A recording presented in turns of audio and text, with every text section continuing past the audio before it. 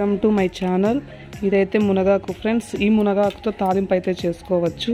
ఇది చాలా మంచిదన్నమాట ఆరోగ్యానికి. ఏజ్డ్ పర్సన్స్కి అయితే ఇంకా చాలా మంచిది. ఇది తినడం వల్ల ఆకుకూర ఈ ఆకుకూర లాగా తిన అంటే తాలింపు లాగా చేసుకొని తింటే హెల్త్కి కూడా చాలా మంచిది. కాబట్టి ఎవరైనా సరే ఈ మునగాకుని ఇంట్లో ఎక్కువ అంటే ఓపిక్గా చేసుకోవాలి. ఎందుకంటే ఇందులో ఇలాంటి పుల్లలు ఎక్కువగా ఉంటాయి.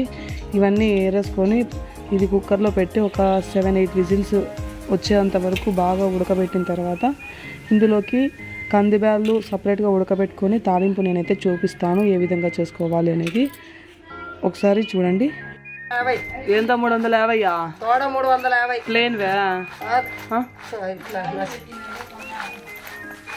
ఈ విధంగా చెరిగేస్తే పుల్లలన్నీ పైకి వస్తాయి ఇట్లా చెరిగేస్తే పుల్లలన్నీ పైకి వచ్చేస్తాయి పిల్లలు. ఊరికే ఆకు మాత్రం వేరేసింది నేను ఇంత గంట రెండు మూడు గంటలు కూర్చొని దాని ముందర. ఫ్రెండ్స్ గట్టి గాజులు త్రీ ఫిఫ్టీ అంట.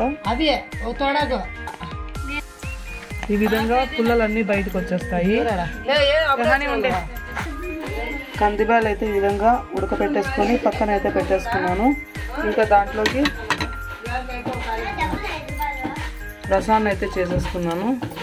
డాల రసం అంటారు తిని ఈ విధంగా శనగిత్నాలను అయితే వేయించేసుకోవాలి బాగా. అవి వేగిన తర్వాత శనగిత్తనాల పొడిని అయితే చేసుకోవచ్చు.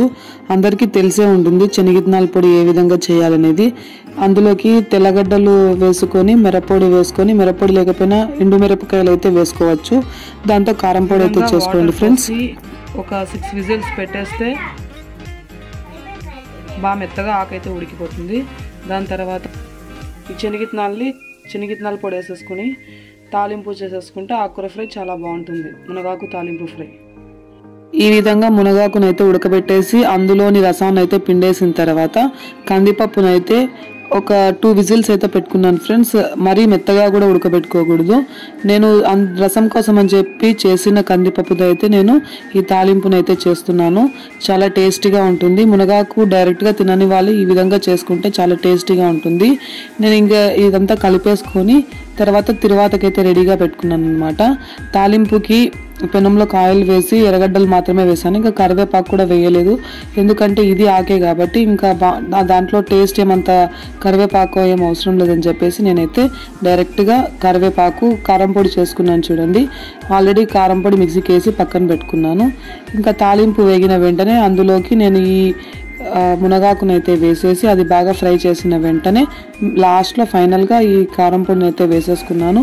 చాలా అంటే చాలా టేస్టీగా ఉంటుంది. మీరు కూడా ట్రై చేయండి. Okay bye friends.